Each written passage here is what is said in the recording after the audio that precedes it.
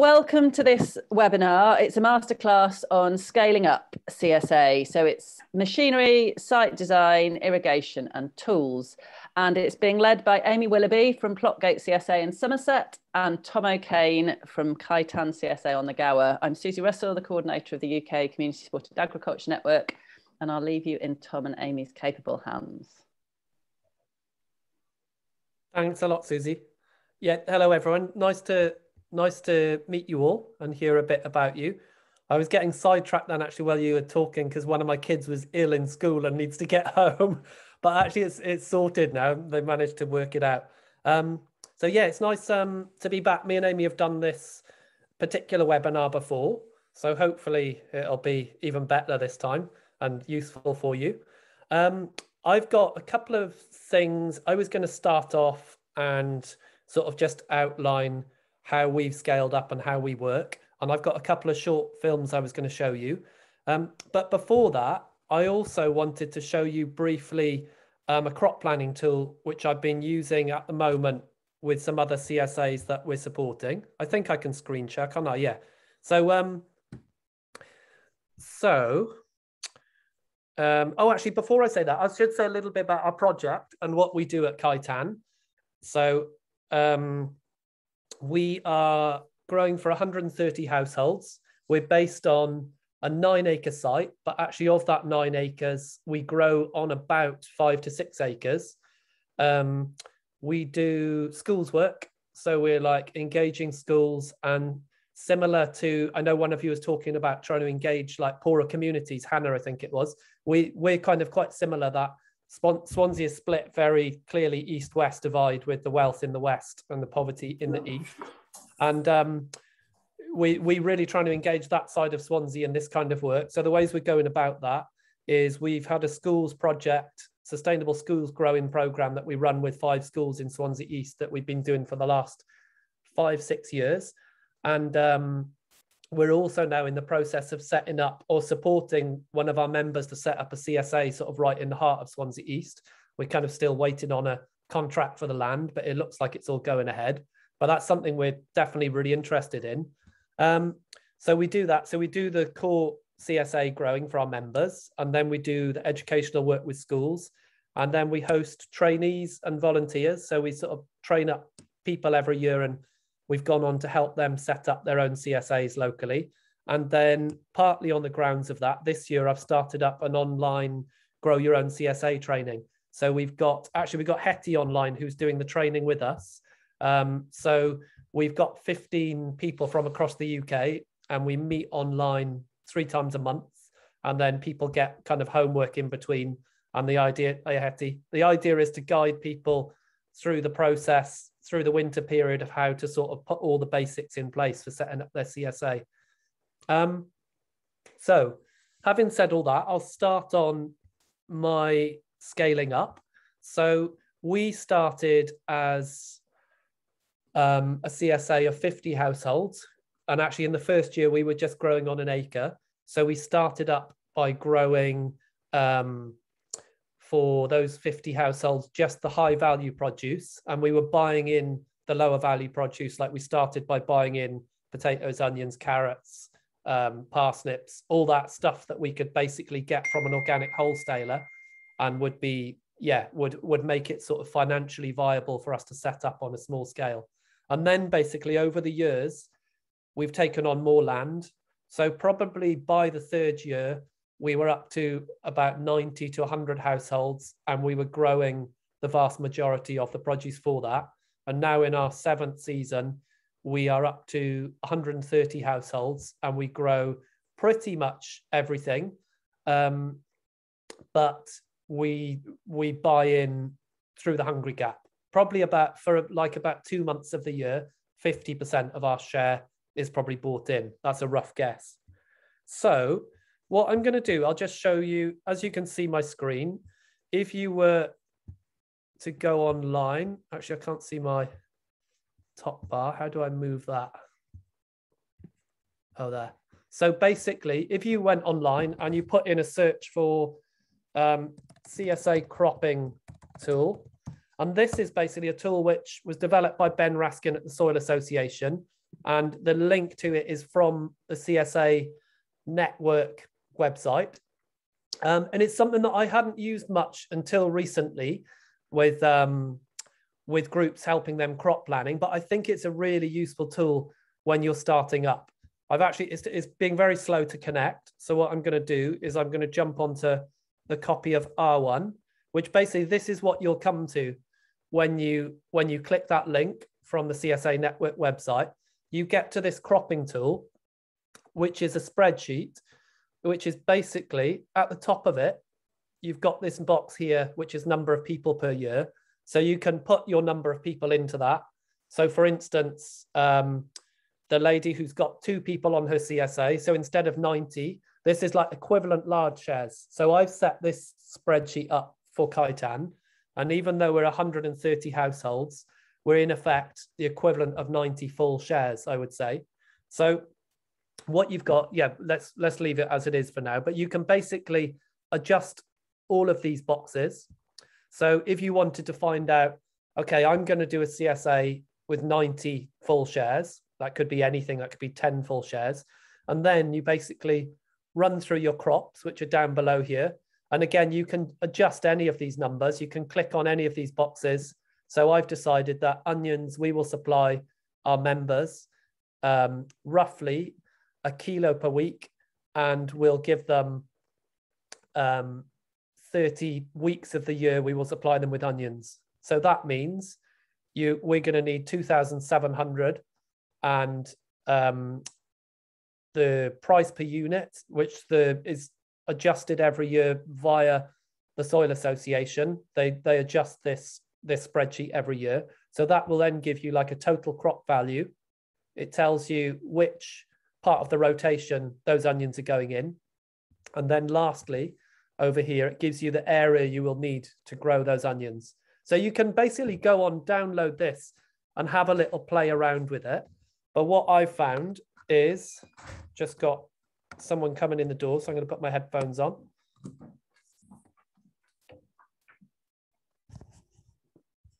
So can you hear me still okay? So um, yeah, basically you scroll down this spreadsheet and you can see that there's all the different crops there, um, all the different values, all the area it's going to take to grow each crop. And then what you come to at the end is a total crop value of the year, which will give you like a rough estimate of the kind of income you're going to get from shares. And then it will also give you this is 1.18 hectares. So it's saying that we need like 1.18 hectares in order to grow all of that. Um, and yeah, it's got also fertility building. It's got a small percentage in there for crop failure. And then it's got the total area of site you're likely to need to include all the infrastructure. And what i am happy to send this on to because what I've gone on to do then is add in all the elements of this crop plan that aren't there. So basically, there's a lot of crops I found weren't included in it, which actually have quite a high value in themselves. So actually, we've got an overall crop value of 66, 67,000, which is interesting. Actually, that's I think this is really quite accurate because we have we have a we generate 65,000 a year. So it's quite interesting to see that this is um this this crop plan actually works pretty well. So I won't say more than that, but I'd say definitely go and have a look at that cropping tool, download it from the CSA network site, and just have a play around with it because I think it's a really useful tool just to sort of um, give you an idea of what kind of area you need to produce on, what kind of quantities of different crops, and all that kind of thing. So I'm then going to move on to show you some of these video videos, um, which I've basically put them together for the CSA online training course that we're doing. So I'm just going to show you parts of them, not the full videos. But the first one is just going to show you eight minutes.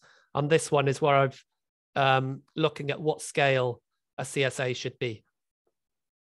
I'm hoping it's going to all, oh, there you go.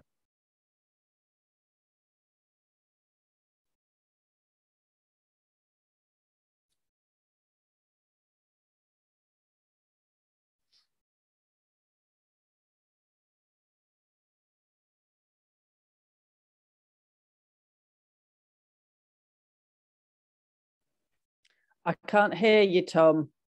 Oh. Oh, hang on. It's because I've plugged in. There you go. Let me try. Gram, which is how to grow your own CSA. And in this video, I'm going to be talking about scale, what kind of scale you should be looking to set your CSA up. And depending on that scale, what kind of tools you're going to need. There's a number of considerations when you're looking at scale. Um, it really depends uh, what kind of community group, what kind of size of community you're looking to feed, how much land do you have access to, how many growers you are, whether it's a full-time or a part-time income you're looking to generate from that land. Um, so there's there's all sorts of considerations. And after I give a brief background on how Cae Tan works, I'm going to interview a number of other CSAs from across the UK, all different scales, different ways of working, just to give you a bit of a cross section of other ways of working. Um, so we currently grow for 130 households and we do that on seven acres. We actually have nine acres, but I'd say two of those acres are devoted to wildlife, ponds, scrubland, willow, um, yeah, just wild areas, which is really valuable in itself. So that's worth considering planning into your CSA. When we started up, my general, my understanding from chatting to other CSAs that was to have a financially viable project, you needed to have about 70 or 80 equivalent full shares. So, you know, that might be made up of uh, more small shares, but overall, if you have 60, 70, 80 um, you know, it kind of ranged in that area when I was discussing with people um, equivalent full-time shares.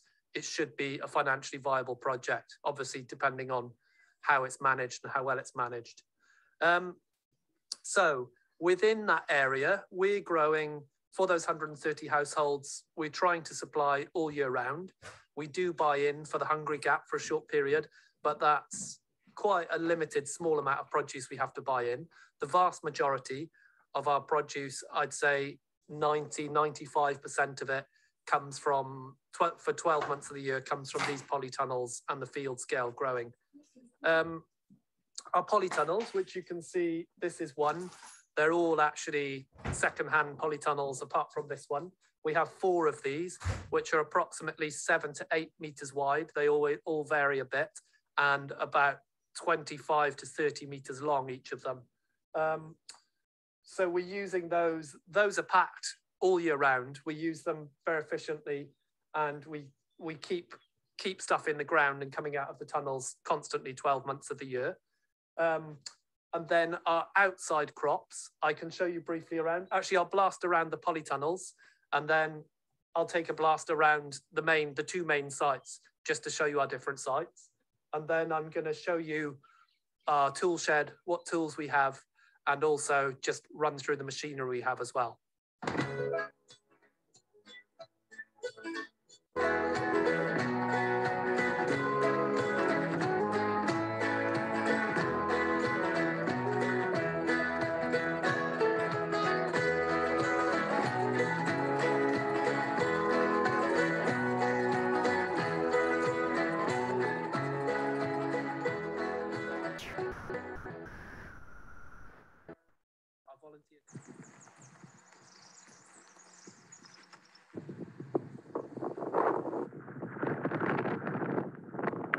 So moving on to tools, I'm just going to show you what hand tools we've got and then I'll show you briefly around the machinery that we're using. So bearing in mind that we work with a lot of volunteers, so yeah, spades, shovels, forks, lots of hoes, uh, wheel hoe, post hole digger, uh, broad fork, and then, you know, just general hand tools. And then we've got a few seeders up there as well. We've actually got the Jang seeder. We use mostly a little handheld uh, wolf seeder, which I can't see there. That is around somewhere. And um, the old earthway seeder that we don't use so much anymore. Sometimes use it for parsnips. And this earthway, another earthway seeder, which we use for sowing green manure crops. I'm just going to show you briefly what kind of machinery we're using at the moment. First up is my dad's old 1961 Massey 35. which is the sort of powerhouse of everything on the farm. We've got a little locking lid trailer, which is pretty essential for harvest every week. We can keep stuff cool in there, pile loads more on top. Potato ridger, potato weeder. These are things I've just picked up in from local farms. Transport box, really useful for everything and anything, moving things around the farm. Steerage hoe, which we've just picked up recently. I'm really looking forward to using that this year. Save a lot of hoeing, hopefully. Little rotavator, one of the first bits of kit we had, which we don't use so much now as we've got the power harrow, but still very useful for certain jobs. The potato planter. It's an old planter that was donated by Coca CSA in West Wales. We just did a little bit of work on it and that's working really nicely. We've then got the flail mower, which is one of the few bits of kit we bought new, and that's essential for us for flailing in old crops and green manures. We've got a power harrow, which like I said, we use that a lot more now than the rotavator. It's gentler on the ground, does a really nice job, leaves a good bed for planting behind. Got a potato lifter, it's one of the old chain ones. Um, found this in a barn locally, so got it pretty cheaply. The one of the problems you have with it is these bars in here breaking, but we've got lots of spare ones with it. And just doing an acre, it's fine. It's doing the job. It's doing the job for us. We've got an old topper there, which is good for just really rough bits of ground, hacking rough bits of ground. A Bit broken up, it could do with a bit of repair, but it still works fine. And then a little chain harrow, which we mostly use for harrowing in all our green manure seed. Uh, really effective. personally, I, I really rate these tractors. You can get all the spare parts for them. Um, they do everything you need to do on this scale. I guess that's the largest bit of work it does, is pulling the muck spreader, um, which is something new we've got this year, which saves us a lot of time and effort. And then we've got uh, another a Massey 35 and 35X, and it's really handy to have the two, so we can sometimes work two of us at the same time. And if there is a problem with either of the tractors, then we've always got one working. I'm now going to hand you over firstly to Abby Mason from Big Meadow Seed. So that's a bit of a, I've kind of knocked together a few bits of video there, but that's um, just to give you a, a general idea of our tools and scale. Although I didn't go around the main site there, um, but it kind of gives you an idea of the um, what we're working with. And then I was going to show you um, another sections of another video, which is about planning your CSA site layout. But there was particular elements of that, which again, I think are useful to give you a kind of feeling of scale and um, yeah, the scale we're working on and how we've scaled up. Because I think um, what you'll see the difference between us and Amy, um, well, there's lots of differences, but one of the main things is our, the, the fact that we're more machinery based um, and slightly larger sort of land scale area. Um, but yeah, I'll show you parts of this video. So um, just going to start with this one.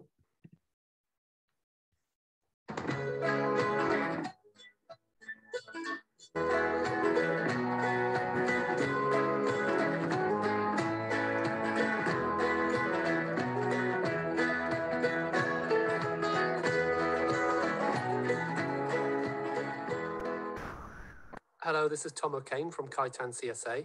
I'm making this video as one of our resources for our Grow Your Own CSA training program. And this particular video is going to be about site planning. So I had a scout around on the internet and I didn't find anything that was kind of relevant enough to the program. So what I'm going to do is I'm going to run through how we laid out our sites just as an example. By no means um, you know, we're like the perfect site layout. I'm sure there's people out there who could tell you all sorts of other ideas of site layout in a lot more detail. But I thought just giving you an example of how we concluded our site layout would um, give a kind of starting position to, to discuss and think about how you're going to go ahead with your sites. So in considering your site layout, the, the issues that we have considered the main issues that we considered, I'd say, are these. Access to water, aspect and shade, prevailing winds and spring winds, building positions, barns, packing sheds, polytunnels, toilets, tool storage, parking, covered workspace for sun and rain, wild areas, play, relaxation areas, drainage, views, roads and neighbours, and lastly, permaculture zoning, which I know little, I do know a little about. Um, I can't say we've applied it in any great detail on our sites, but that could be very relevant for some sites. I'd also say within considering all these different aspects of your site, ultimately you're going to go with what feels right. I know for us, there were certain things that, you know, when I walked onto the site, I just felt like, ah, oh, this needs to go there, that needs to go there. If you sort of break it down logically, uh, maybe it's not the best position to put a barn or uh, or or whatever it is, but actually it just feels right. And there might be some areas that you've got to walk further to get to it, and actually, but when you're there, if that's your main hanging out space, it's, and it's got a beautiful view, um, I'd probably go for that one rather than the other one. So our two sites are very different. This is our original site down here that we call Webb's Field, which is a four acre field. Um, it, there's very different geology under the two sites. It's hard to see from this, but basically this very green land up here and running around the edge of these trees is, is actually quite a lot higher than the ground down in the valley here.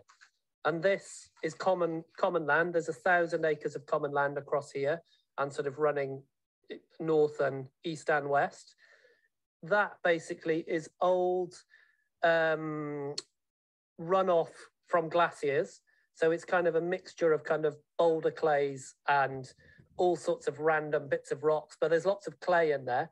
And what's happened thousands of years ago is that clay has kind of settled down and run down these valleys, um, right down to the coast. Actually, on the coast you get you get cliffs full of kind of scree and clay. Um, so what it means for this site is that actually it's a very heavy clay. The top soil is pretty nice for about a spade's depth, but then the rest of the soil is very, very heavy clay. And it means that the, the upper part of the site here, which is fairly flat, is very waterlogged. This sloping element of the field is, um, is fairly free draining. And then the bottom of the field is incredibly wet. And you'll see, I'll show you the video afterwards, we'll walk around the site, but actually we've created wetland and wild areas in the particularly wet parts of the field. And then about six fields over is our newest site, which is Furze Hill. This is owned by the Ecological Land Co-op. There's actually 18 acres here, which is owned by the Ecological Land Co-op, and we rent these five acres, just that, that section there. I'm just going to pause it there just to show, um, I'm going to skip on to, oh, actually saying that, we'll carry on a little bit further. And um, even though as the crow flies, it's pretty close, when we're going back and forth with machinery, we tend to have to go all the way around here, either around this way or up this little tiny old lane here and back around there. So it, there's quite a different distance between the sites, which isn't ideal, but it's just what we've ended up with. Um, but in some ways, I really value the difference in the two sites.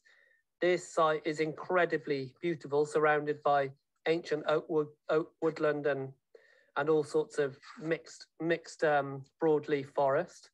And this site is much more of a a working site, really. Like we use every inch of the ground. We're working towards uh, transforming it to an agroforestry system at some point with getting in a lot more trees and windbreaks. But this ground, like I said, this whole area here is very good, good growing ground. It's so right. I am gonna skip on there because actually um, this video's got a lot more information in it than we necessarily need for this. So I'm going to go on to seven minutes about that. So this is more about the individual field layouts. Grassland here. So starting with our original site, this isn't an up-to-date photo. Uh, this is just something I took off Google Maps. So um, it's just to give you an idea of how we have laid out the site. North is pretty much kind of that way up there. Um, so this is fairly sort of south facing and it slopes, this area here slopes to the west. This area is fairly flat and this area is fairly flat. Um, we chose to put all our polytunnels up the top here. There's actually now four polytunnels and a fifth one going in this autumn winter. We chose that site because it was flat and we wanted them also away from the road. There's a there's a road that runs into the village down here, and we basically, when you look up from the main road through the gate at the bottom, you basically only see the first polytunnel on each side.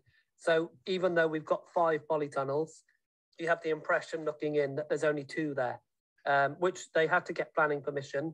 But um, I think that was a lot that that was on our side basically. That really helped that the visual impact wasn't too great.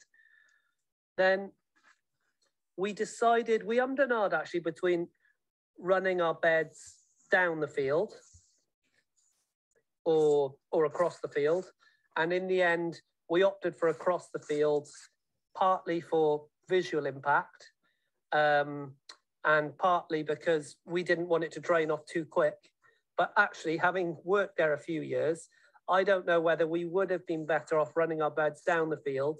So in very wet periods of the year, the water would run away. But it's tricky on this site because what we find is this slope actually dries out very quickly in a dry period, even though it can be incredibly waterlogged. It's a difficult field to farm. This, this field, as you can see in this photo, this was during a very dry period. Um, the ground does really dry out. And when, when it dries, the water drains to the bottom of the field down to now where we have a pond and willow beds.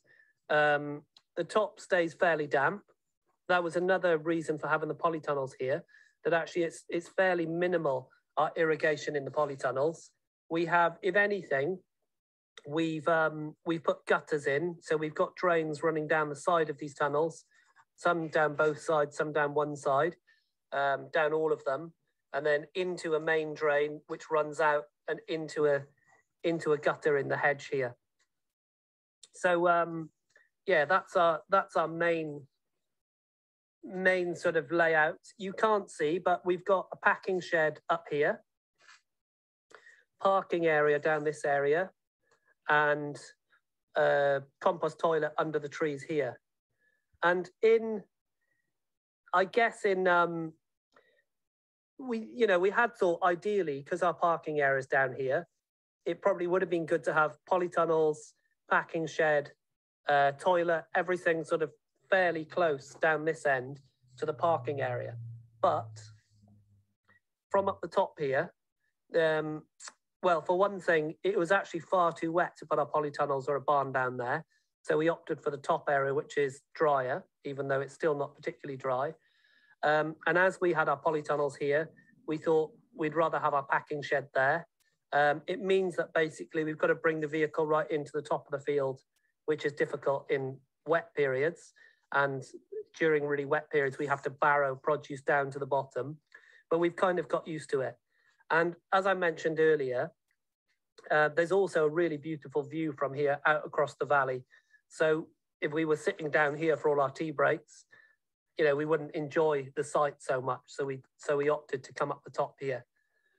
Um, I'll show you some pictures as well of this site in in sort of full production at the moment because the site layout has changed quite a bit since we've got the pond installed and new polytunnel up and everything. Um, compost toilet we chose to put down in this corner, again, for like minimum visual impact and sort of privacy. Our rotations, our pond in the wet area, willow beds in the wet area. We're extending the willow beds right through this wet area of the field. And we've now sort of opted for just a summer rotation in this field because it's a fairly fairly wet ground, like I said, and we don't really want to be on the ground in winter.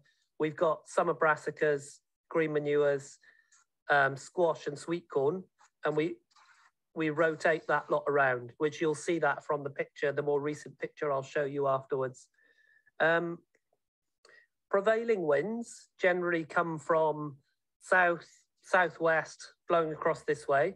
We're lucky that along this end, uh, we there's a fairly steep hillside, wooded hillside. So it's actually an incredibly sheltered site. So um, prevailing wind isn't too much of an issue. But what we did notice, particularly in the early years, is that these north, northerly and northwesterly winds often blow in in the early spring when we've got delicate young plants planted out. So that's where we're thinking about. So we have kind of allowed this hedgerow to flourish and we've we've built it up. We've planted all sorts of um, particularly pollinating plants all along this end of the field just to build up this bank. And so early in the year, we get as much growth as we possibly can to, to break down that cold wind coming in, coming in to, to sort of damage the early crops.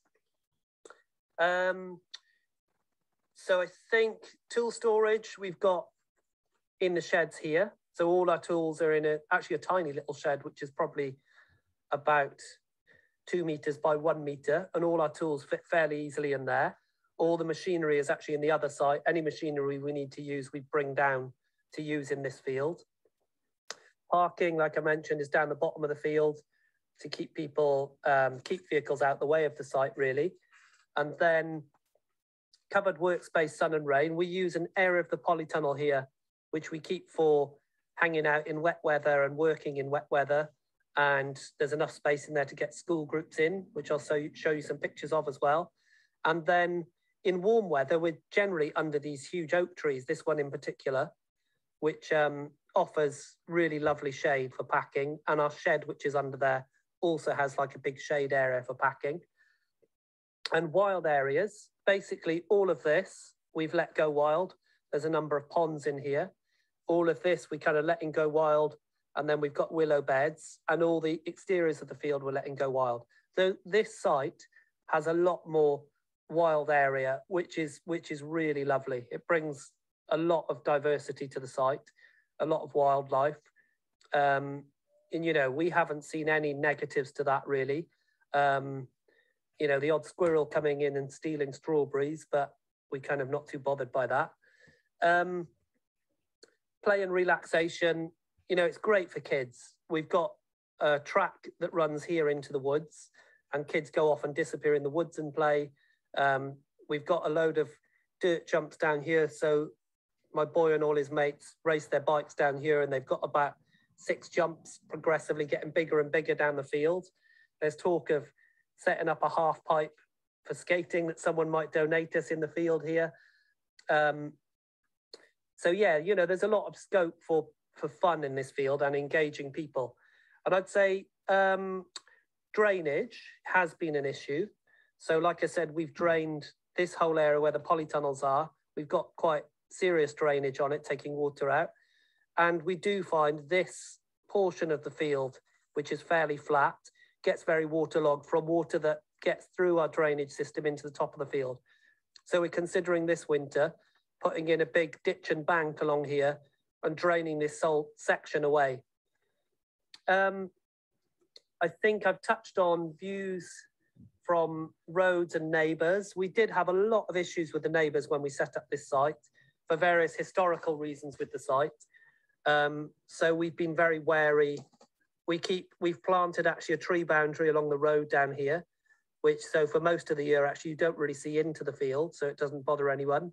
Um, I'm not quite sure why people are so bothered about seeing a field of vegetables anyway, but they do seem to dislike it, some people.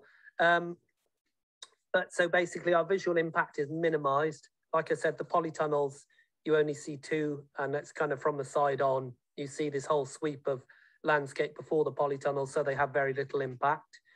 We did have to go down the route of getting permitted development because we're on a um, 15 acre site, so we've got rights for permitted development. And I think that's about it for this site. I'll move. Just gonna then, I've got one last little bit of this video, which is um, what is it? It's 12 minutes long. So I'm to skip on to that. And then um, let me just check what was that? That was like.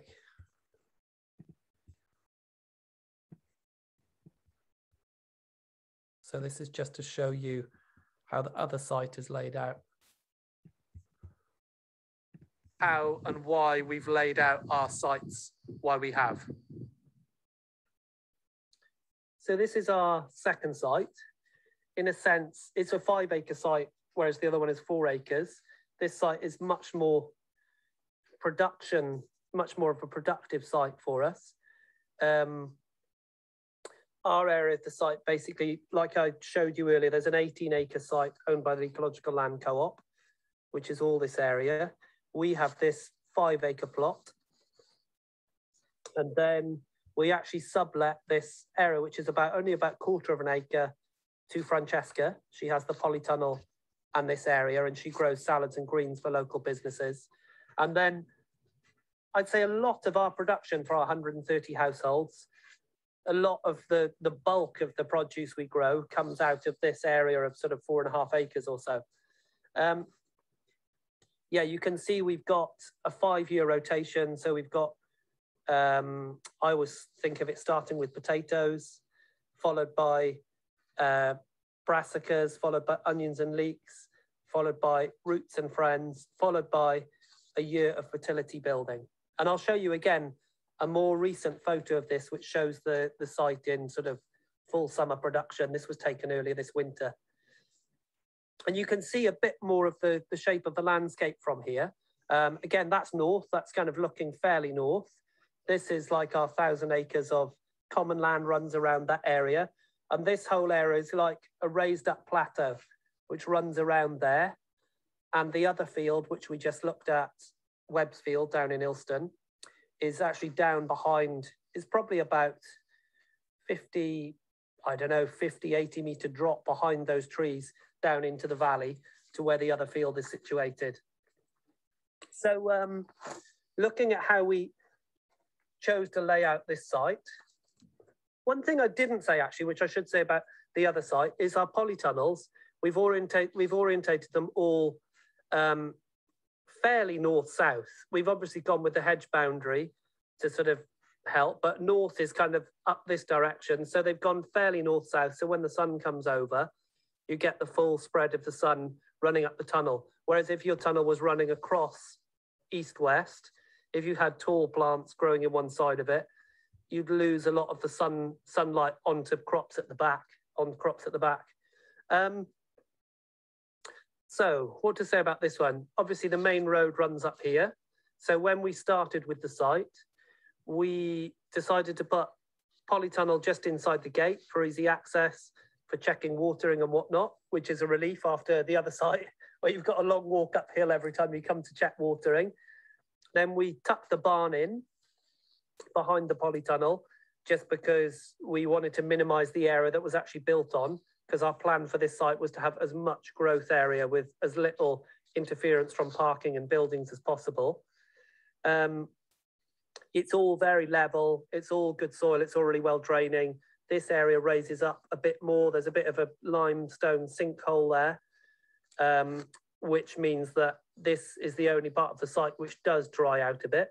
We've put an orchard in this area.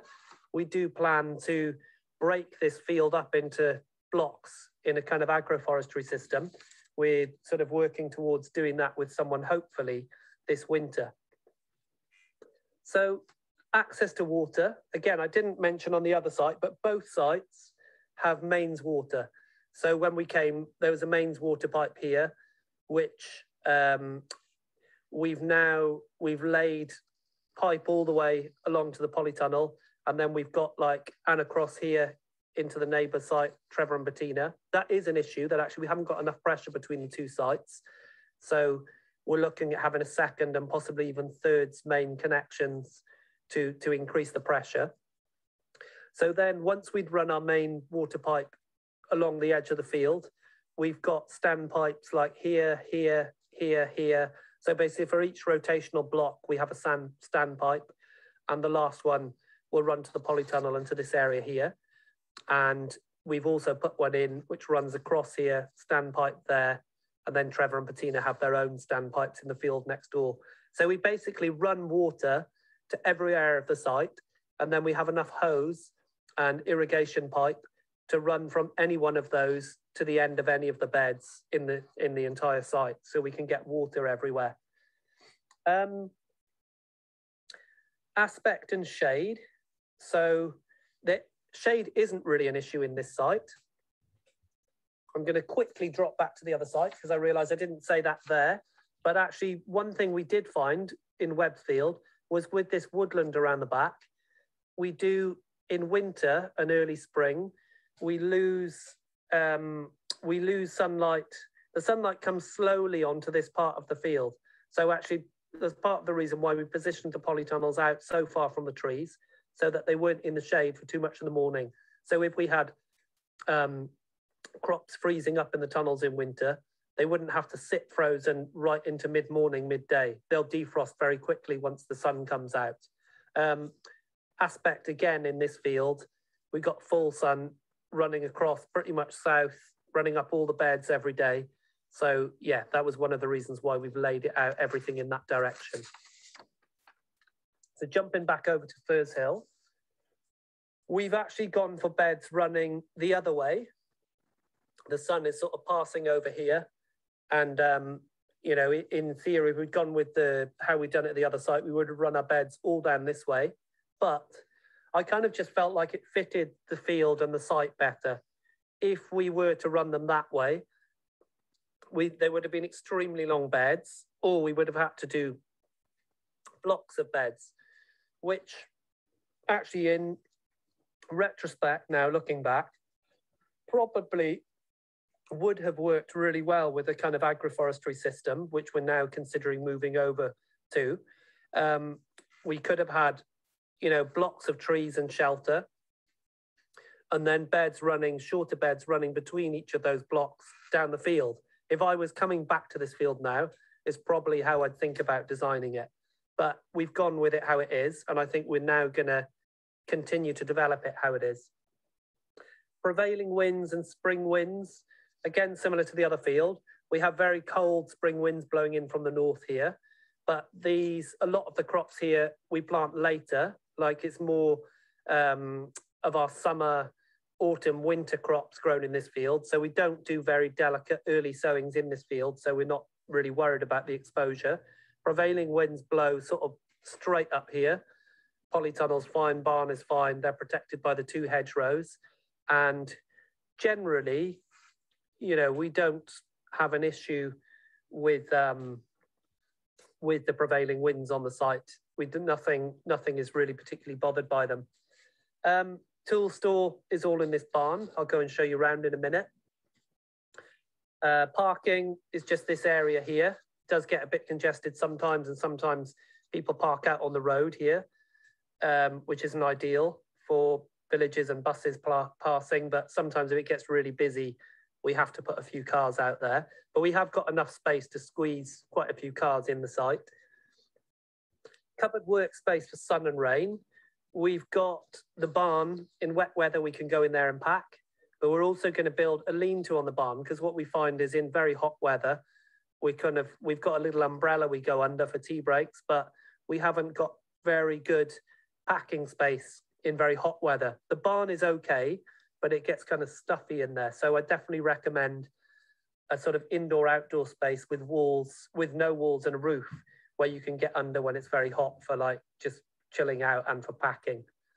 Um, wild areas, this, that's one issue with this field. You know, we use every bit of it. We have let the hedges grow in and grow wilder than they were previously. We've got this area of sort of fairly wild area with an orchard, but that's why we want to bring in this sort of more of an agroforestry style system to build up the wild areas. Oh, sorry about that Just to put that back, to build up the wild areas within the field. Um, play and relaxation. Again, there's not so much play and relaxation. It's a pretty feels like much more like a sort of busy work site when you're here. Uh, when we are relaxing, it's generally in this area.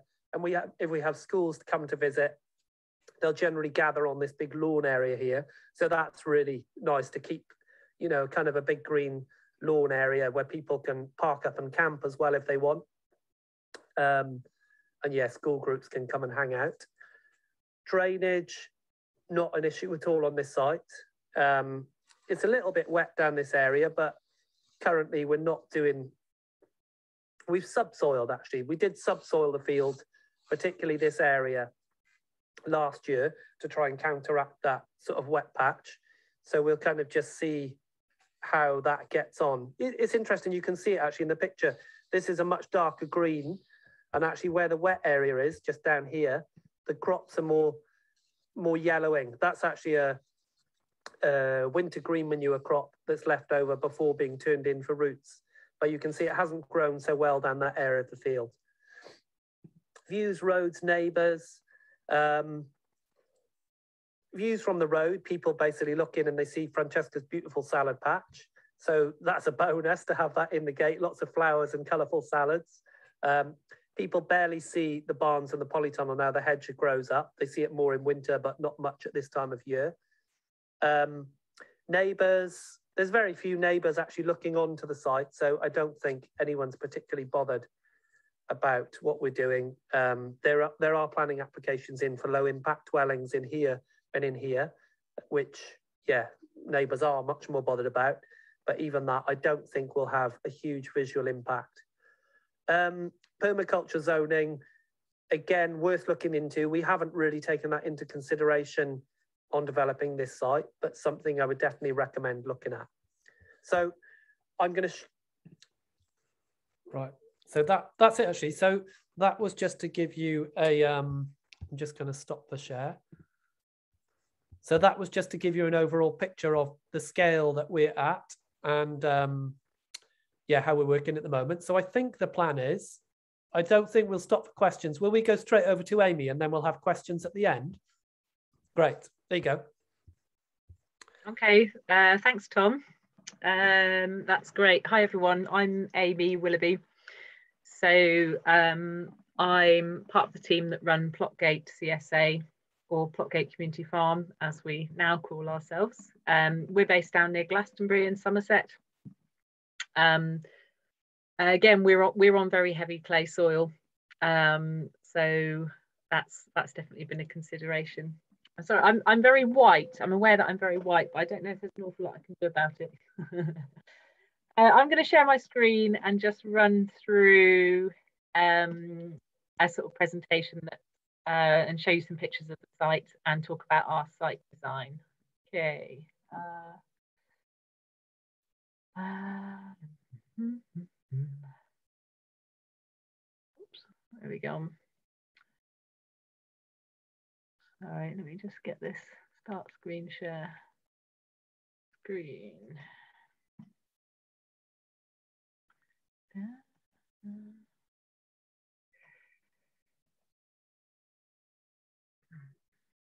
So hopefully you can now see an aerial picture of uh, Plotgate Community Farm. Um, so the main difference is we're, we're a very similar scale to K, uh, Cae Tan actually, in that um, we have probably about 120 household members. We also offer fortnightly boxes, so that that works out as about 90 um, full box equivalents every week. Um, so yeah, similar sort of scale. Um, we we buy in uh, staples, so that would be um, potatoes, carrots, and onions for six months of the year. Um, that's always how we plan it. it. it. doesn't always work out like that. Sometimes we keep going longer with some things. Um, but our kind of financial planning is always, and our crop planning is always about buying in potatoes, carrots, onions for between January and June. And um, the main reason for that is that we're hand cultivated. So we don't have, um, we don't use tractors. We do use, we do have a tractor and we use it for moving uh, manures and compost materials around the site. Um, but in terms of the cultivation, it's all hand cultivated. So the gardens are about three acres in total. Um, you can see them here. Um, so just to orient you, we're looking north. So we're looking north down the gardens. Um, Uh, and the gardens are on a slight uh, west facing slope. So you can see quite clearly why we've decided to put the gardens into that, uh, the eastern part of that field.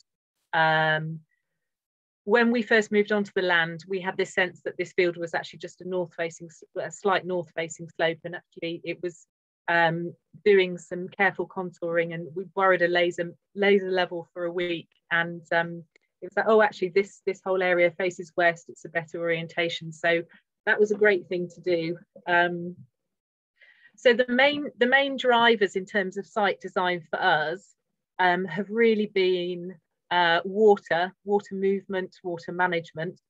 Um, the other thing to say about our site is that we're totally off grid. We don't have mains water connection. Um, and so, and we're also on the heavy clay. So being able to move water around the site um, and being able to manage water really effectively has been a massive design driver in our site. Um, and also the fact we're hand cultivated, we've tried to make the site as accessible as possible for people with wheelbarrows um, if you're in a big tractor, you can you can uh, uh, work your way across most things. So there is a lot of hard track down, and the track has also been designed specifically to to minimise this this slope. It's it's a very consistent gentle gradient down through the gardens. So here we are, this lovely aerial photograph that, um, in fact, someone from the CSA network came and took last year, which was lovely and gives you a sense of um, what we are. We also have livestock. So um, our whole site is 10 acres and we have sheep, we have Shetland sheep, and we have pigs and we have some chickens as well. Um, but the main CSA part of what we do is the veg. Um, right, so we'll move on. Okay, here we are. Um, yeah, so like I said, when we first moved onto the site, we we did we made a contour map. We borrowed a laser level off a friend, and we spent a week a weekend um, fiddling about this laser level and marking out the contours. So this little map on the right that I've put upside down so that it matches the, the photograph. So um, you can see the pond isn't on here. We had slightly different ideas about how the field would be used back in 2013 when we produced this map. Um, but yeah, but the contouring really gave us a sense of where we felt like the gardens needed to be on that slight west facing slope. Um, and you can see here that one of the first things that we put in was track as well.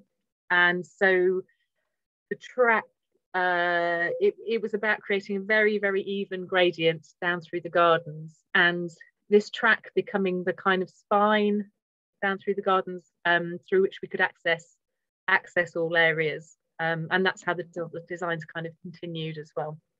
Um, so yeah, and the first garden that we put in, so we, we have a kind of, we, we talk about our growing spaces gardens. Um, and the first garden that we put in is this yellow square here on the map on the right, which is this sort of garden here that is surrounded by um, trees. So the shelter belt went in there quite early. Um, and yeah, and we still operate a garden system. So um, that area there is half an acre uh, and it's roughly a kilometre of beds. So it's it's 20, 50 metre beds on, on in that garden. And the rest of the gardens are either equivalent or they're half the area. So we have a nine year rotation, uh, two rotations in this garden, two rotations in this garden, two, two, and then a single one in this little triangle in the back. Um, we uh, yeah, the, the the the the garden plan sort of came together before we were seriously thinking about the rotation. So we have had to um, extend other gardens to try and make the blocks roughly equivalent because we're not we're not working in strict a strict kind of block pattern. Um, so it has perhaps been a little bit more tricky to sort of fit in uh, to work to work with a kind of strict rotation. Um, and you can see that we've got five polytunnels here. Um, and there's a four year rotation in the tunnels. Um, these two are one rotation, these two are one, and the big the big tunnel we have two rotations in there. So where are we now? Yeah. So the use of wheelbarrow, his Dan and his wheelbarrow up and down the tracks, uh, keeping it nice and easy for him. Um, yeah, so like I said, one of, one of the big considerations was water. And what we observed when we first moved onto the site was that the water came down um, through this gateway. There's a, there's a ditch, there's a ditch in this uh, hedge line here. Um, and it basically just ran kind of like a river straight down into the hedge line and then down onto the levels, which is where our land ends. And so we really wanted through the through the site design to move the water um, kind of around and onto this ridge so that we were moving water into the gardens and actually um, holding water in the gardens and trying to increase the capacity of the land to hold water.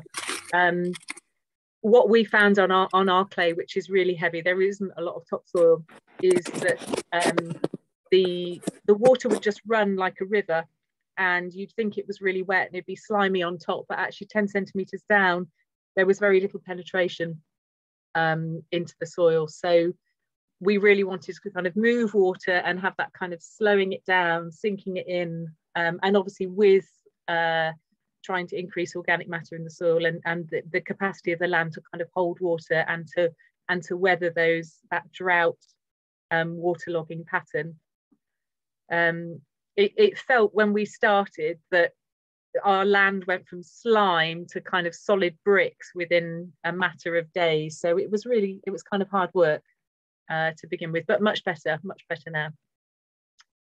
Yeah, so here's Dan and the wheelbarrows.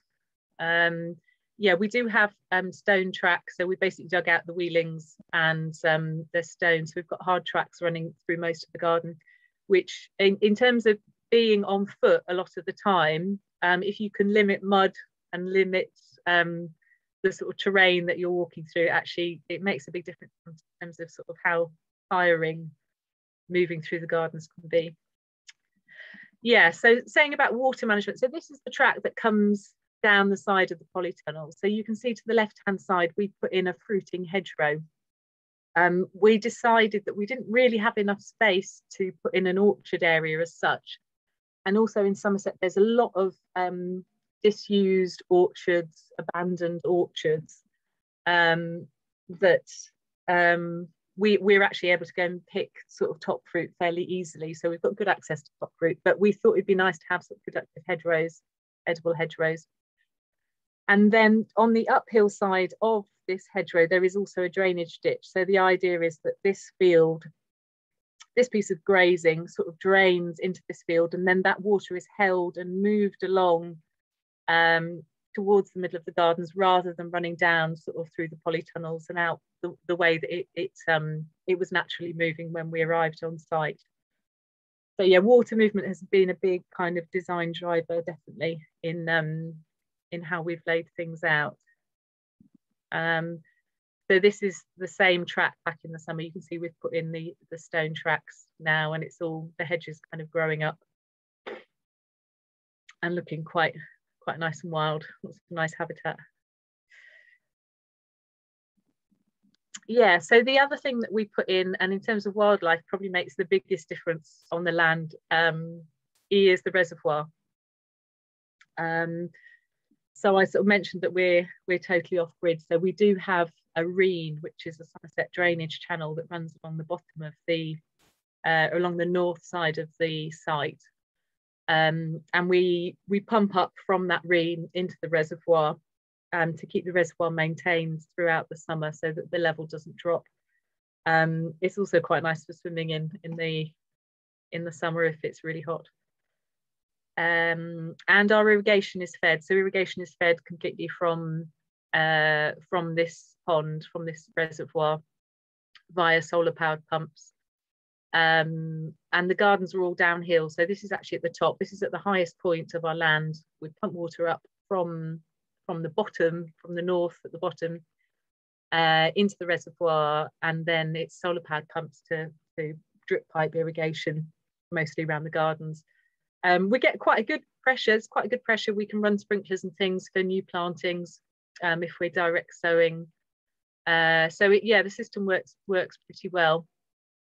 Uh, yeah, pretty good. And we can also pump from this reservoir up to the top, which is our more um, our packing barns and things that I'll show you in a bit. Okay. so yeah, this is back in 2013 when we started. Um, we all of the beds. One of the unusual things about the site design at Plotgate is all of the beds are on contour as well. Um, and again, this is this is to do with sort of water management and trying to spread the water through through the paths, um, trying to hold it back, trying to allow it to kind of penetrate into into the ground before it runs away and we lose it. So again, the the beds were all marked out with a, a little laser level. Um, the first garden that we put in, we actually sort of dug out, we hand dug these paths um, and did a lot of it. He was very keen on digging in those days, not so much now. Um, uh, it's not how I advise doing it and, and probably not and not how we've done future gardens. Um, but it means that beds are actually raised. So we, we're, we're growing on permanent beds that are raised from the level of the path.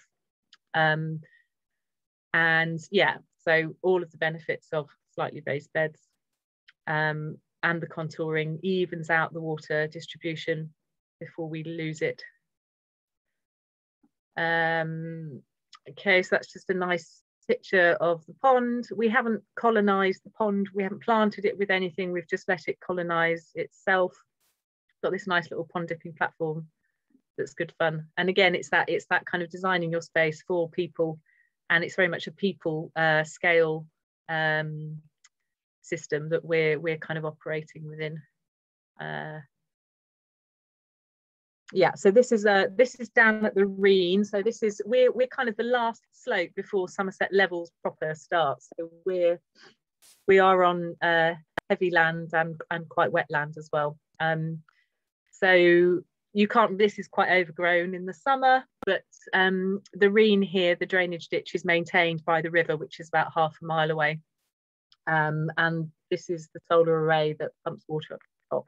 And whenever the sun's shining, the pump comes on and water's continuing to flow up to that reservoir. Um, yeah, this this picture kind of shows um, shows our rotation a little bit. We've actually used um, the pigs. So we have pigs that up until this year have lived in the gardens and they've been our cultivators. So they've actually broken new ground for us. Um, and you can see in the picture on the left, the pigs were in this patch here. And the following year, it's planted up with brassicas. And the pigs were on this little triangle. And now this tri that triangle's also been um, turned over into gardens. So we've, we've used pigs to pioneer ground for us. Um, here they are, the lovely creatures. Um, we have we have these little kune kunes and they're a New Zealand house pig, so they're very friendly. They're not going to bite anyone. Um, and they eat, they've got, they they can live off a much lower protein diet. So they um, they eat a lot of veg waste and they're very good at clearing ground, clearing the grass. They dig out roots, they dig out thistle roots, they dig out dock roots, um, but they don't plough the soil. They've got short noses, so they don't plough the, the soil like a lot of bigger bigger breeds of pigs would. And they're quite small um, and they're very sweet and they live outside all year round. So um, the pigs have been great in terms of composters for us. Yeah, I've got a brief picture here of our, the top of our site. So as well as the bottom field that I showed you the photograph, we have an, an acre strip um, and that includes our compost toilets, chicken pens, um, a small garden at the top that's used more for flowers and sort of a social space uh, packing barns, propagation space, and a big composting area as well, and workshops. Um, so we have we have quite a large composting operation. Um, we make compost mixing farmyard manure with wood chip from uh, tree surgeons. So um, some of that's our own, but the vast majority of it is is bought is bought in. Um, this winter, we've kind of installed a drainage system that goes around the composting area. Um, Somerset's quite a nitrogen sensitive um, area because of the levels. Um, and so we wanted to kind of be dealing with, we were noticing that there was quite a lot of leachate coming off the composting area. So that leachate's now collected and in fact we recirculate it and pump it back on top of the wood chip um, in the summer months. Um, and then there's a series of drainage ditches that take take it round into a little holding pond and we can see that actually the, the water's quite clear by the time it comes out into that little holding pond it's really it's really quite clear so that's that's been a massive improvement last year um, we've got a, quite a large greenhouse for propagation we've also now got a, set, a polytunnel that's about the same size as this um, greenhouse and we've also got a shade house so this is our main propagation area um, uh, some of the early stuff is done. My colleague Jane, who I work with, she tends to have some of it at her house. So she's got a polytunnel at her house as well that she uses for propagation with hot benches and things, things that she wants to have kind of right under her nose because um, propagation's her, her baby, if you like. Uh, veg packing barn is it's a very simple pole barn, barn structure. It does get quite cold in the winter, um, but it is nice and shady and cool in the summer because uh, it's a bit open and a bit gappy. Um, we've got a couple of these sort of old refrigerated lorry backs for storage, which are great. Um, they tend to be really well insulated. Um, workshop area and again, insulated sh shipping container. We've actually moved over to storing a lot of our winter crops in the shipping container. It's all the workshop space is now outside and that's been cleared out and um, it's made a massive difference. So that's our dry store. Um, so squashes, uh, squashes, onions, um, garlic, apple juice, uh, all stored in there. And yeah, it feels really nice and safe and secure. We have had we've had we had a problem last year with squashes and rats getting into um, squash stores, which was a nightmare. So yeah, storage, proper storage has been great. Uh, flower garden, yeah, up at the top, more social space. Um, we, uh, like I say, we're, we're kind of hand cultivated on that area and I think um, because of that, we're quite dependent on uh, our trainees, our summer trainees. So we take on four trainees in the summer months. Um, these are three of three of this year's trainees, Hannah, Bex and Kiara. Um, and we also have a lot of um, volunteers who join us for about half a day a week. So um, three days a week, we're open to volunteers. We're always working with volunteers. It's, it's a big part of what we do um, and how we manage the gardens. Um, in terms of tools and machinery, um, we've got a Land Rover with a tipper that we use for moving compost around um, that doesn't really leave the farm these days we do have a little Kubota. Um, in fact, we've just bought. It's been on loan to us for years, and we've just bought it, which is brilliant. Um, and here we are getting hay in. Um, and other than that, we have uh, a developmental system of um, two-person or four-person push tools um, that that Dan enjoys creating. So these are made from bicycles and um, gas bottles, and they're kind of bodged together in the workshops. Um, but they are really effective and they do allow us to cultivate much bigger areas much more quickly with a little team of people. Um, but most importantly, in terms of hand cultivation, they, they change that movement from hoeing and digging, where you're bending over, to um, to a body position where you're actually using your legs and your glutes much more so it's a much safer position and a much healthier position and you're not you're not working kind of on a twist as well so um they're pretty great and i think i've got a little a little picture so yeah sometimes sometimes there's a there's a puller there's a horse on the front as well um so this is the path scraping tool which does a fantastic job and you can whiz up and down the paths and get rid of mostly mostly dandelions in our case. Oh, we've got a little video here. So this is the potato ridger in action. Um, so we have two of our nine rotations. So we grow half an acre of potatoes each year. And obviously by hand, that's quite a large area. Um, we create two ridges with the ridger, we hand plant the potatoes, we mulch heavily on top, and then we use the ridger again to um, earth up. So here's a video of the Earther in action.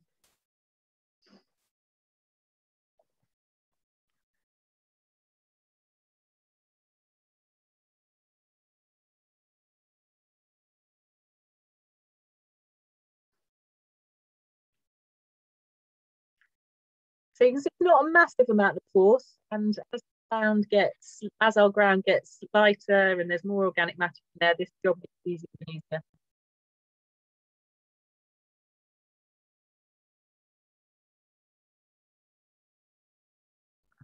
And obviously, it's then it's then just a case of um, going going down with a fork and pulling that onto the potato plants. But they're they're really effective and they do make a massive difference and they're quite fun. Um, they're quite fun if you've got a gang in the gardens to um, to play with some of these tools. So that's great. Right. Um, so I think, oh yeah, and the scythe. Yeah. So Dan is our lawnmower a lot of the time. Um, we I suppose we're quite into what you might call kind of craft farming um, and the kind of old skills and um, yeah and and this kind of spirit of low uh, low impact invention is is very much at the heart of what we what we do here at Plotgate. Um, we have just got a flail mower with the uh, with the tractor, so there might not be quite as much sizing as there has been. Okay, that's all. That's all I want to say. I'm going to stop sharing my screen. Um, so yeah, so we're very similar scale to Cae Tan, but do things in a very different way. Um, yeah, have quite a unique range of tools, but obviously all the all the regular. We use a lot of hose, a lot of Swiss hoes, and hand tools as well. Um, yeah, that's all I'm going to say. So I think we should open up for some questions if anybody wants to ask us anything. Great. Thank you both so much. Um, and yeah, there's some questions already in the chat. Um, in fact, uh, which I'll just I'll I'll read out. So a question from Gareth to Tom. Would it be possible you could share your annual rainfall for the sites and your soil type here in Donegal? Donegal, we have 1600 millimeters of annual rainfall and are on brown podzolic soil, texture class is silty loam it's nice to see how other sites compare to ours here. Yeah, I, I, I honestly couldn't say. I don't know what our annual rainfall is. I could look it up. Um, yeah, maybe I should do that and get back to you and let you know because I I've got no idea what our rainfall is. It's probably it's probably similar to yours. It's pretty wet here. And what did you said your? Let me just see. What was your soil type? Or actually, maybe you can tell me, Gareth. Where are you? Yeah, I'll, I'll, I'll come back and speaker here, Tom. Yeah, in, in Donegal, so we would have like a we we have a soil texture class of silt, so we're very much a silty loam. But our sort of soil groupage here then would be brown prod, uh, brown podzolic. Okay. So here within sort of Derry Donegal in that area, we wouldn't have any, if you call it brown earth or top quality soils. The, the best soil we would have in the area would be this brown podzolic soil, which is a an acidic soil sitting with a high level of iron within it, subject then to gleying and subject then to grey mottling if left if left alone or uncultivated. And the, the reason I ask about the rainfall is I've attended many of these very, very good sessions and I hear a lot about people who have challenging climates when it comes to rainfall and managing irrigation and managing water. And I, and I sometimes do quick searches of the annual rainfall for some of these sites, and some of them are very, very favourable in that they have far, far less rainfall than what we would have here across the sort of the western seaboard of Ireland, where we can vary from 1600 millimeters to we have a we have an upland sheep farm and we would have there we would have 2700 millimeters of rain per year which mm. is it's, it's pretty horrific and, and, I, and I hear some of the yourselves across the mainland discussing growing and I think but I would love to have that that level of, of problem where there's only 900 or 1,000 mils or 1,200 mils. I'd love to have that problem. Yeah, I'm just um, I? I'm just trying to look online now to see what a rainfall is. But actually, the soils are very varied. We have we do have some very good quality soils, but that particular site where we are in Ilston is probably quite similar to yours because we do have um, there's areas of the site that haven't been cultivated probably for 30, 40 years and there is gleying you know there's that that gray blue mottling of a lot of the soil there. So i think those soils are definitely similar and subject. Um, but i don't I, I keep looking online and see or do you know somewhere to find swansea gower rainfall annual rainfall? I was just looking and none of them were saying specifically. But i would say overall that um, it is a real issue. Like rainfall and waterlogging does mm. make things a lot there's a lot you can there's a lot of different elements of a site you can deal with. But I think a site that is very wet is like, you know, it's it's drainage is a is a big is a big investment of time and energy. It's also something that needs ongoing management. But similar with Amy, you know, I'm sure you've got, you know, you've got big issues with managing water around your site. Yeah, and also, I mean, I think I'd add that like um, changing climate is just making it more more and more of an issue for more and more people being able to cope with the kind of deluges of floods and then and then drought conditions in the summer which we've all experienced over the last few years. So um, i just think water's an, an increasing issue for every, for anyone who's growing. I just wanted to i've just found tom it's 1100 millimeters on the 1100 nothing okay. no that's that sounds all right doesn't it compared to you gareth and then uh, Gareth also had a question for you, Amy, which was how are you filtering and treating the reservoir water before using as irrigation? Okay, well, we we we filter it through um, particle filters um, for irrigation, but we don't um, we don't treat it in a, any other way. It has been and our it, because we're drip feeding, we're not we're not um, sprinklers. There's no sprinklers in the polytunnels, so we're not watering directly onto, onto salad plants and things. So our environmental health chap was happy with that because we're only drip feeding onto the soil, uh, drip watering onto the soil. Um, it was suggested to us that UV filtering before, particularly in the polytunnels, I think um, I think outdoors uh, it doesn't matter so much, but I think in polytunnels you can get viruses and things building up um, through untreated water, but we haven't we haven't gone down that route because we haven't really encountered very much of a problem, to be honest. Um, we do so. So water from the reservoir can also be pumped up to the top here um, if we run out of water, but mostly we're reliant on rainwater at the top here. And the rainwater does go through a three-stage filtration process and then through a UV filter um, before it comes out the taps.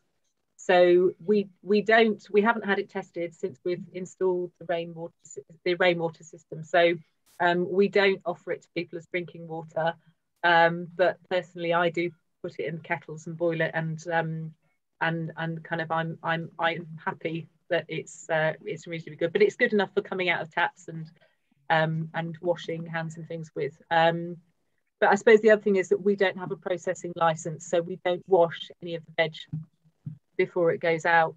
So because we don't have mains water and we don't have yearly um, water tests carried out at the moment on site. Um, so we're not processing any veg, washing it at all. Um, Thanks. Yeah. Thanks, Amy. Good question. Um, but yeah, I would. I, it has been advised to us that UV filtering before um, irrigating tunnels is a good idea, and it is something we're looking into. But you know, one thing at a time. There's another question from Sky for you, Amy, which was Can you tell us more about using pigs to clear ground? Are they better than other animals to do this? How long do they need to be on there? Also, what is the breed you use again? And are there other breeds that can be used? Okay, I love having pigs in the gardens. Um, I just think they're great. um, they're fantastic composters. They, you know, all of the waste that comes off the gardens, brassica stalks, everything, we just throw it all to pigs. Um, and they they munch their way through it. Dandelions, they love dandelions, they love weeds, they eat it all. Um, they're supposed to be good for clearing things like leather jackets and wireworm and, as well, um, in terms of turning ground over from pasture. Um, but I, I haven't, somebody said that to me and I haven't actually checked it out in terms of source, it, source where that information comes from properly. But um, we have found certainly the gardens that we didn't use the pigs on, we had a lot more problems with leather jackets and wireworms than we have gardens that we have used the pigs on. So anecdotally, I'd say our kind of experience supports that. Um, we the the pigs that we have, the little ginger hairy things, are Kune Kunes. Um, they're a New Zealand house pig with short noses, so they don't plough the soil. Like if you I've I've been to see friends who keep pigs, and and in the winter you've got sort of a foot of mud, um, and they don't really do that because they can't they can't dig underneath and turn over the soil, so they'll dig down roots and they and they take off the turf, um, but they don't they don't plough like a lot of pigs do. Um, and they're they're they're not a commercial pig. You're not going to make you're not get going to make any money out of Kune Kune sausages. Um, they have very high fat content. They're very slow growing, but they eat a very low um, protein ration. So you can feed them. I mean, some people say they feed them exclusively on veg veg waste, and they do fine. Our experience has been that we do give them a grain ration um, as well, but much smaller than you would in a commercial pig sitting. So they're, they're not there. They're not a commercial, not a commercial pig, but they are great to have in the gardens. And um, yeah, they're really sweet. Uh, yeah, no, you know, nobody's ever been bitten by them. Kids get in there and try and sit on them, and they they just don't. They're not bothered at all. Um, and that's that's a massive plus for us. Yep. So I like pigs. Uh, Reese has just asked a question, which was asked to Amy, but I guess might be interesting to hear from both of you, which is what soil changes have you noticed over the life of the plot throughout the years, specifically during abnormally hot or wet weather? Whew. um, I, I, suppose, I mean, we, we started cultivating the, the land here in 2013. So we're into our ninth, ninth year. Is that right? 13, 14, 15, eighth year, eighth, eighth year of cultivation. Um, and the biggest thing for us has been the organic matter content on our on our heavy clay and just lightening lightening the soil, but also kind of increasing that weather window between um, uh, the clay turning from you know that kind of slime to brick, um, that quick transition that you get from slime to brick on heavy clay. So the big thing for us has been about organic matter, and uh, to be honest, that's the reason we've ended up as a as a kind of no dig um, surface mulch uh, with a surface mulch system. That's not how we set out in the first place. We didn't say, "Oh, we want to be no dig." Um, we, we were kind of tied to the idea of hand cultivation, but it's just been surface mulching for us has been um, the best way of retaining moisture, managing weeds, and improving soil structure. Um, uh, what was the question again? Uh, it was about soil improvements. Yeah, no, what, what changes have you noticed over the life of the plot? What soil changes have you noticed over the life of the plot, specifically during abnormally hot or wet weather? Yeah, so um, 2019, I think we had the big the big droughts, and we did. I mean, we had we had sort of four inch cracks, um, particularly down the path areas. Um, um, but again, that's it's in those sort of conditions where surface mulching has been really kind of invaluable in terms of um, moisture retention and um, uh, limiting the amount of uh, the amount of use that we've had to make of irrigation because obviously our, our water is limited by um, by you know the complexity of our system it's quite a, it's quite a simple system and we can't just turn the taps on and and keep it running so um yeah that's I think that's answered it. Tom, do you want to add anything to that about what you, soil changes you've noticed? I would say the main changes we've got two quite different sites, like I illustrated earlier, like the sort of the clay heavy site and then the, the lighter site with very much better quality soil, higher fertility. Um, and on both sites, we noticed like quite a drastic drop within from first year is so incredibly fertile. The, the crops are just incredible the first year and very few pests or any sort of problem whatsoever. And that definitely deteriorated year two, year three. Um, but I would say year four, year five, year six, it feels like it gradually has been creeping up again. And year this year into year seven, I feel like we're back somewhere close, not as good as the first year we cultivated, but getting back to actually that level of of fertility and health in the soil. Um, I was just thinking the polytunnels have always been no dig, and yeah, they are incredibly seven years in now. They're incredibly productive and require very little addition of um, you know we compost them every year, but it seems like we don't need to give much of a surface mulch, and actually the crops just remain incredibly healthy in there. Um, yeah, I'd say that's the the main differences. Thanks. And there's a, there's a couple of questions here. Um, I'm going to ask one from Sky just because it sort of ties into the soil stuff, which is to Amy. Do you experience surface runoff during heavy rains on your no dig beds as they're on contour to the hill slope? Um, no, we don't we don't know i mean the contouring of the beds is specifically for to avoid sort of surface runoff so um, what what we observed when we first came onto the site was was literally a river running over the surface um, down the slope and the contouring of the beds basically means you can see the water sitting at the top of the gardens in the in the top three or four paths. And actually as that rain stops and clears you can see that water moving down the gardens down that paths. And, and the paths because they are quite accurately on contour the water spreads. I mean you, you can see which are the accurate beds and which are slightly more sketchy because when water's sitting in them you can see where it sits. But it but year on year um, the water drains quicker and quicker. Um, and that's been a really amazing thing to see is that you know the first winter that we we had these contour beds and there was water sitting in the paths for like weeks i was kind of like oh can't we just get rid of it? This is this is a bit nerve wracking but we we don't get that. After a heavy deluge we've got water in the paths and it and it clears it moves down the gardens and it clears. And um and so i do think that's kind of test, testament to to the kind of system. Um yeah so no very little surface runoff. It's very gradual. We're holding it all back.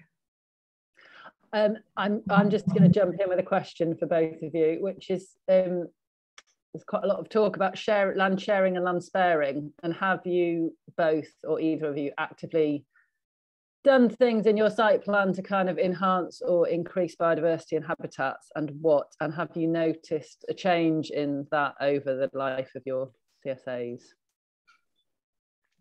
Yeah, I could say um, well, the, the field down in Ilston is naturally a much more biodiverse and wilder field, and we've definitely left a lot of very wild areas, and we've got three decent sized ponds down there.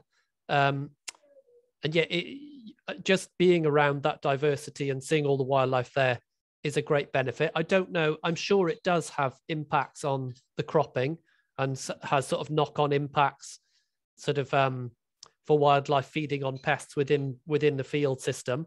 Um, the other site, we haven't. It's kind of a more recently taken on site. We've been there four years, and it's kind of it's a fairly um, fairly mechanized and fairly open site at the moment.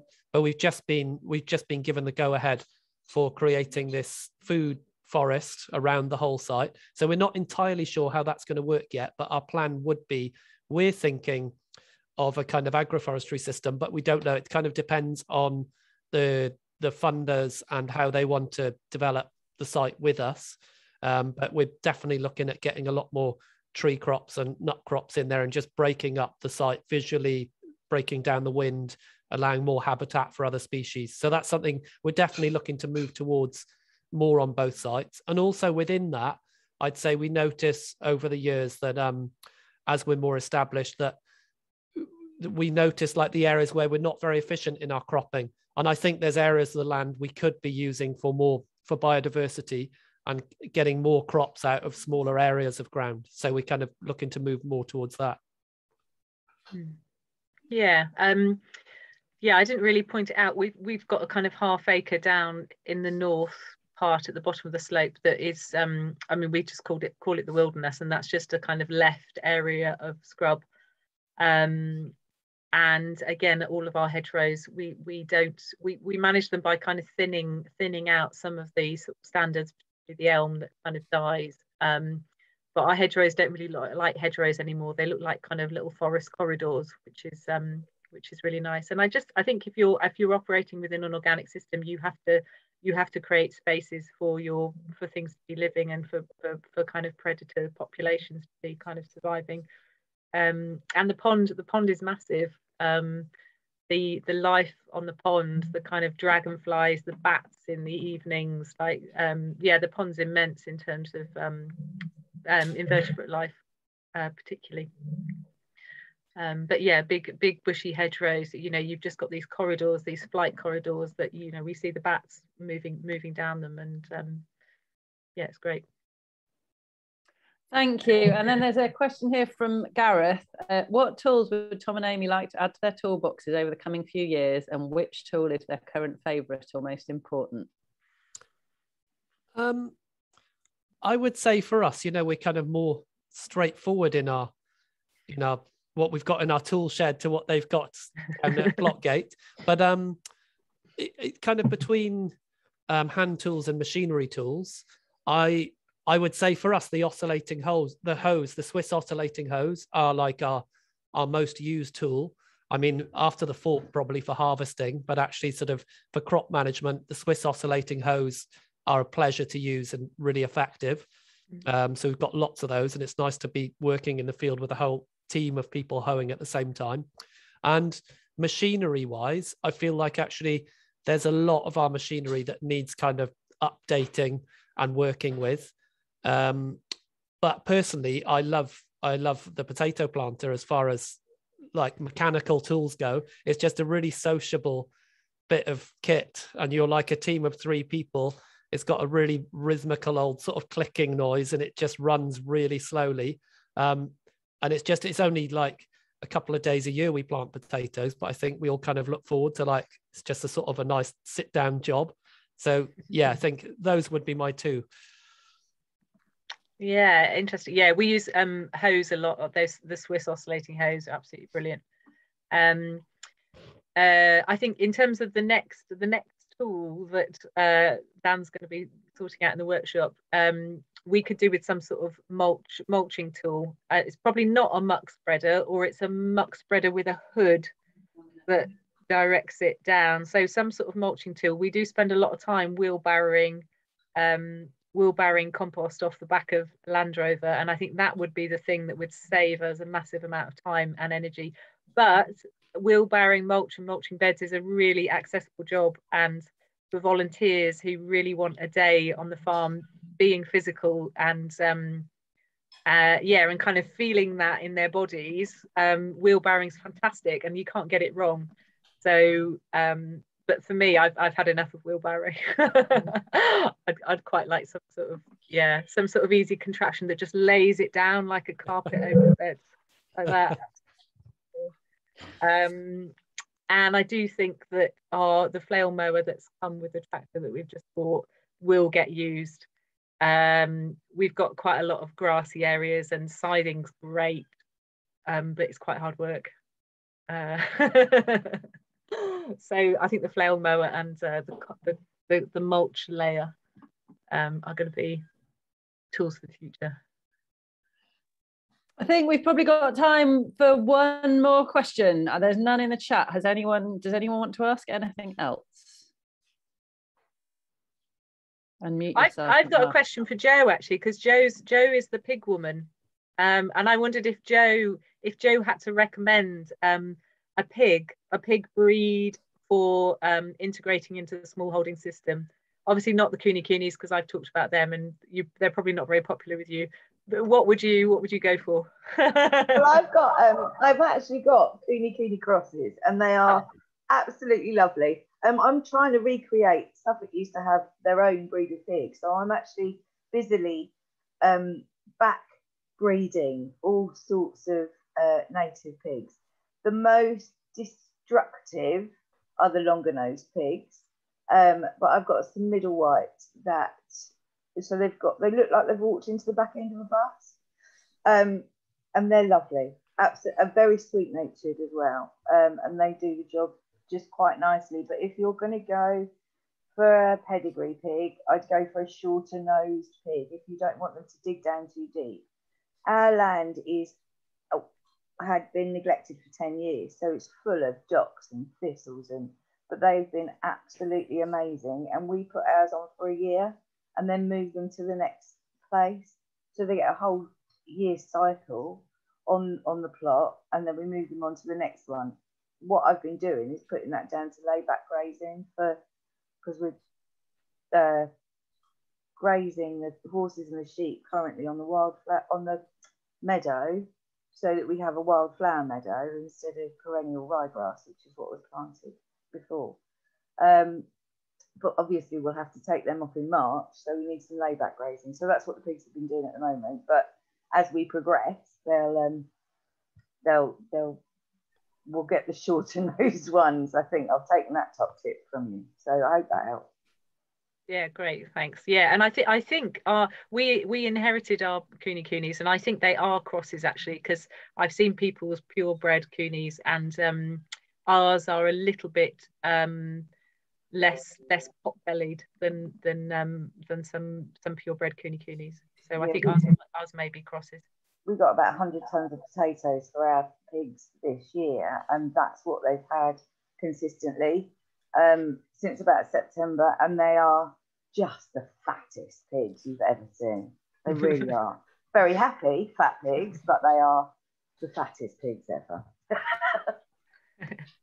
So, so I think we'll we'll finish in a couple of minutes. I've got a, a last question for Tom and Amy, which is, uh, if you were starting again, what would be your kind of biggest piece of advice in terms of thinking about site planning from the perspective of being almost ten years on, both of you? I can I can go if you like, Tom. Yeah, go on. um, in terms of site planning, I uh, I think one of one of the things that I wish we'd done, um, fertility building, I think, is a massive thing, um, and it's something that maybe we didn't think about enough at the beginning. Um, so it's like how how are you building fertility, and like uh, developing our composting system has been a big thing and, and that's been something that we've really had to kind of like oh we need compost. Oh no we need a lot of compost. Where are we going to get that from? We can't we're not going to buy it in. That's that's too expensive. Like we've got to um and in a sense that's why we've got the tractor. That's how we've ended up with a tractor because we need to make lots of compost. Um uh, and the other thing that i would do is that if we're laying tracks um, we always now put um, a, a, some land drain in with a piece of string. So if we want to run electric pipes, water pipes, or anything through that track at a later date, um, we can we can thread it we can thread it through. Um, some of the tracks that we put down in the early days, we didn't put land drain through. Um, and now we've got pipes running over the ground, and it's just like, oh, that's messy. Why that could be sunk really easily. So that would be another top tip. Mm. Thanks, Amy. Uh, I was just going to say on the back of that, we are uh, doing a webinar tonight at seven o'clock with Nikki Grady Scott uh, on composting. So if anyone wants to hear about composting, join us. I put the link in the chat. Tom, do you want to end with your top tip for starting out? Yeah, I would say as far as like site layout and scaling up and yeah, starting out, um, if you can just really kind of take your time and go and go and visit lots of other sites talk to lots of people. And if you can get people to come and visit your site and just just take your time to get to know the space and and really think and double think and have discussions with people about how you're going to lay it all out. Um yeah i think i think that i mean for us i think the main thing that i would have liked to have had more of my head around from the start was developing more of an agroforestry t- style system and building in the whole sort of biodiversity element of it, fruit and nut tree element of it right from the beginning, rather than just going ahead with everything and then trying to look at how to integrate that later. So yeah, taking time to think about it and have lots of discussions with different people about how it might look. Can I can I just answer Reese's question? So Reese has got a question that says, um, "What's everyone's favourite fruit or vegetable to eat or grow?" And uh, squashes, squashes at this time of the year, it's like all that summer sunshine that's stored mm. in those that beautiful golden flesh. I'm just like, oh, I, I'm just squashes every day. I was thinking exactly the same, and it's so little work to grow them, and they're so little impact on the ground. They're just like, yeah, yeah, they're great. Yeah, I'm gonna retire and be a squash farmer. Brilliant. Well, thank you ever so much, everybody listening. And uh, thank you, Amy and Tom, for sharing all your knowledge and experience and expertise. Um, and I hope everyone's enjoyed it. Thanks. Thanks a lot. Okay. Yeah, thank you. Bye. Cheers.